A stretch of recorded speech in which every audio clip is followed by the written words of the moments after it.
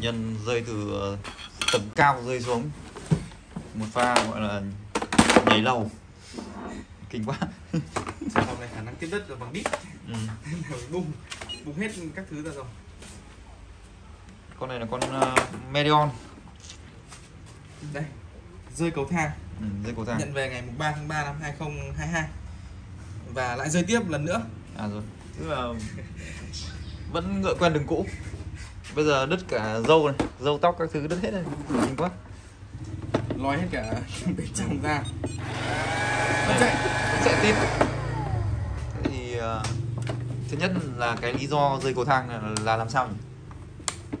Theo cháu. Nhạo luôn rồi. Đi luôn này cụ đi rồi. Cụ đi chậm quá à tụt. Tôi tôi tụt. Tụt tụt cả quân. Tụt cả quân ra. Càng quá. Thôi, thế này chứng tỏ là con này bền đấy. Không không phải đùa đâu nhưng mà lý do rơi cầu thang là sao?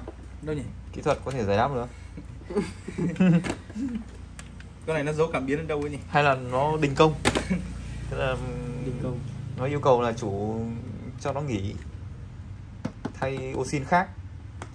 Chủ thực ra là cái con này là một trong những con ờ, mẫu mực cho những con đời cổ. Nó chạy nó không có một cái công nghệ điều hướng gì cả mà nó chỉ có dựa vào các cái con hồng ngoại ở đây để nó va chạm và nó lùi ra và nó, nó va đập nó cứ lao ầm ầm ầm ầm vào các góc cạnh. lùi quá cái chỗ này Đấy. Đấy. Cũng có được trang bị cảm biến chống rơi rồi nhưng mà Có đít- cảm biến chống rơi. đít đít đít rơi xuống rơi xong rồi thì mới biết là đang bị rơi. Đúng rồi. Bật chế độ máy bay không kịp. Có nghĩa là cái cảm biến nó không phải là cảm biến toàn thân mà cảm biến phía trước thôi. Nên là nếu khi mà nó va chạm. Gãy rồi. Gãy rồi. À. Nó va chạm và nó vào những cái vị trí khó thì nó vẫn có thể là rơi được. Hơn nữa là cái độ nhạy của cảm biến này nó không ở mức tuyệt đối. Tức là bánh nó sẽ điều hướng để đi. Trong trường hợp bánh vẫn đi được thì cảm biến chưa hoạt động lúc đấy vẫn chết.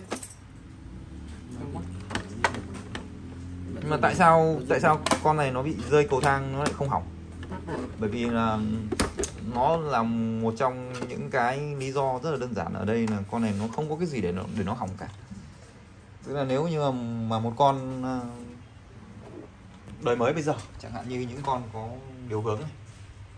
Thì ở bên trong cấu tạo nó sẽ rất là phức tạp chứ nó không đơn giản như con này là mỗi quả pin hai cái bánh xe để cho nó chạy được và mấy cái cảm biến. Rồi có một cái quan trọng Ừ. nhất là một cái motor quạt hút Ừ. hết. Cái cái quạt thì là quạt chổi than giống như quạt điện điện cơ 91 đấy thì ờ, nó không thể hỏng được. Tóm lại là ừ, vỏ nó cũng vỏ nó cũng phải vỡ thì bên trong nó mới hỏng. Còn những con khác ví dụ như những con khác này bên mạch các thứ cấu tạo nó phức tạp. Nó chỉ cần lệch vị trí cái là nó sẽ chết cháy chập ngay. Thì đấy cũng là một trong những cái lợi thế khi mà mình dùng con robot bụi ít tính năng. Không có gì để nó hỏng cả. Đấy lại cắm được cáp vào. Đã chạy như ngựa luôn. Ừ. thế chẳng sao cả bánh xe. Con này có cả hệ thống ờ, lau. Lau nó cũng có bơm nước ấy. nhưng mà bơm nó sẽ bơm thẳng ra chứ nó không điều tiết hay là thẩm thấu gì đâu. Có điện cả tử gì cả. Không có có máy bơm có máy bơm ở bên trong nhưng mà tức, tức là nó chỉ thế nó bơm thôi xin ờ, nó cứ bơm Nó thẳng cứ áp suất xuống bơm thẳng áp suất xuống nó không có khống chế hay là cơ chế thẩm thấu truyền dẫn gì cả. Bơm thẳng áp suất xuống. Con này thì cái nước khi mà nó lau thì nó nho nhất ở trên sàn này. Nó hút thì nó chỉ có mỗi cái ống hút này thôi nó sẽ không không trà sát được nó không thể làm sạch được. Chỉ hút được mỗi bụi không. Lau thì sẽ kéo bẩn ở chỗ này sang chỗ kia. À, chuẩn bị uh, bốc khói nhá. Nghi ngút luôn này. Xong. Xong rồi thế là sửa xong rồi. Thế gọi là sửa xong rồi á? Sửa xong rồi. Bây giờ bây giờ thôi. chỉ gắn mỗi cái cản này vào là, là bình thường. Vâng. Căng nhỉ? Như thế này là robot chạy như ngựa rồi có cần gì phải sửa đấy đâu bây giờ phải tháo cảm ra.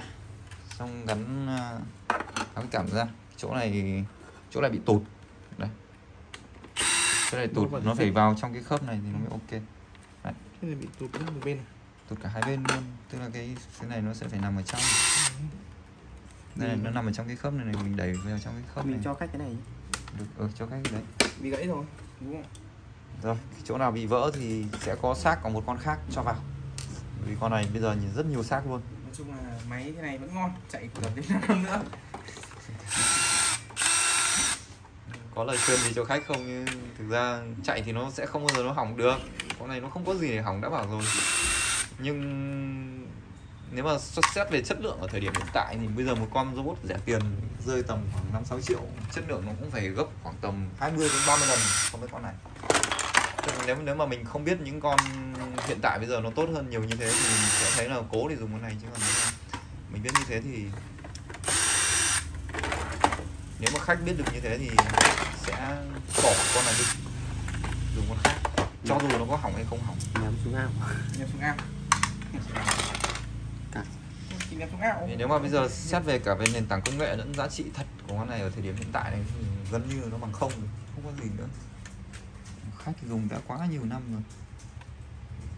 Mà bây giờ để thông não cho khách cái vấn đề về con này thì không không không làm được.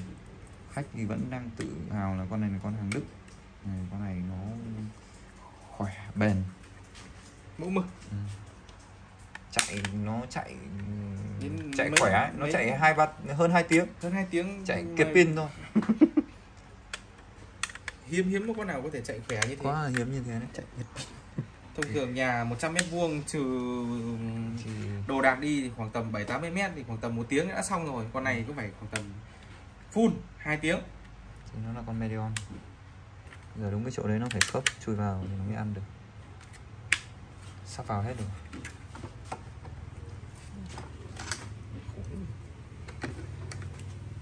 Đấy, giờ ăn cái sốt này nữa vào gắn vào và khuyến mại nắp cho chị cái nắp chắn pin mới.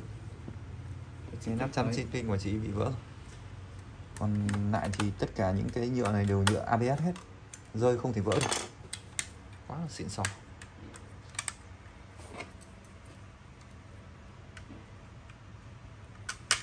Bên trong tháo bên trong tháo đi.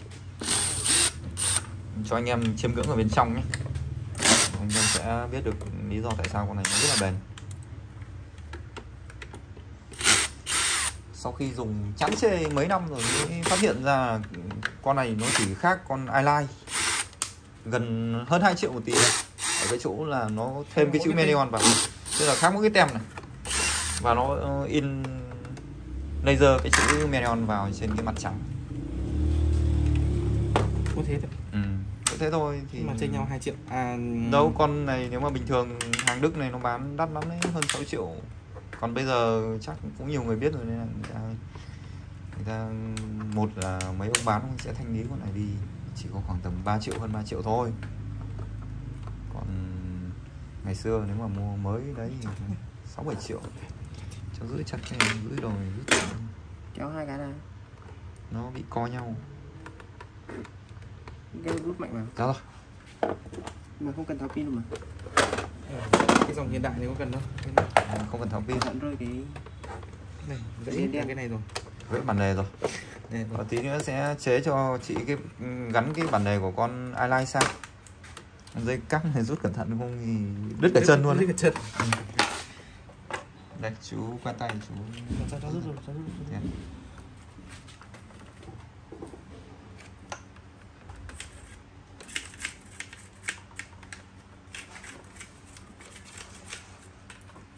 Con như này thì hỏng bằng mắt. Ừ, đấy. Thực ra nếu mà ừ, người tiêu dùng bình thường nhìn con robot nào nó cũng giống con robot nào. Nhưng ờ, bên trong nó là cả một bầu trời công nghệ. Còn bên trong con này thì sẽ là một bầu trời chứa toàn bụi. Thì nếu như kể cả đến đây mình là người bình thường mình nhìn con robot này thì mình cũng chưa phát hiện ra điều gì bất thường. Mình cũng thấy nó có cái có cái bo mạch cũng thấy nó có cái motor nhưng mà không hiểu rằng là cái bo mạch này nó chỉ để điều khiển mấy con motor này gắn vào đấy không có một cái công nghệ gì cả. Đấy không không có một cái gì hết.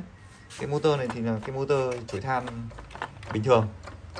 Công giống giống giống như mấy cái motor ngoài chợ thôi nó không phải công nghệ gì công gớm. Nghệ từ uh, mềm hơn hơn hơn chục năm về trước. Ừ, đấy về cơ bản nó sẽ y chang nó gọi là như thế. Còn đây ví dụ như là một cái con motor motor hút đây gọi là motor không chổi than. Không than của đây, từ cái cánh quạt này, đến cái cấu tạo này đến cái trục này nó khác hoàn toàn luôn. Cái motor này nó đã trị giá của cái motor này nó đã nó đã đắt hơn con máy này rồi. Tức là một cái động cơ Nidec này nó có cái giá là 99 đô. Cái cái Tức là nó còn đắt hơn cả con cái máy này. này sẽ giống kiểu cái bếp cái cái cái kho Cái bếp hồi xưa. kho bếp. Kho bếp hồi xưa. Thổi hơi thổi hơi. Đấy y chang như thế. Đấy còn cái LDS LDS thì tất nhiên con này không có rồi riêng một cụm LDS này nó cũng có cái giá 99 đô đắt hơn con máy này rồi. Thì đấy ok đây là cấu tạo bên trong. Đây nó cho thêm hai cục ừm, thép này vào để tăng cái độ bằng. chắc đầm chắc cân bằng máy. Vì ở giữa ở giữa nó không có cái gì nó lực nó nó xuống. Chắc cũng là một một giải pháp kêu cánh sau này bán đồng nát thì sẽ còn có giá. Căng thật đấy cái kết thúc video. Đi quánh đi, đi vệ sinh. Vệ vệ sinh bầu trời bụi